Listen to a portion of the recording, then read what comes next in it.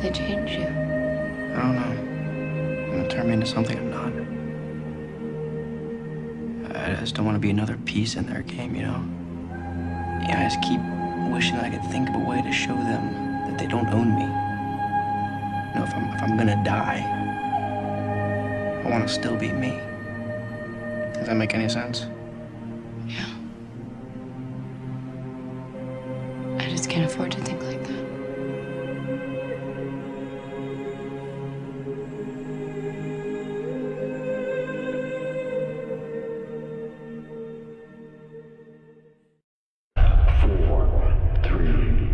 Two, one.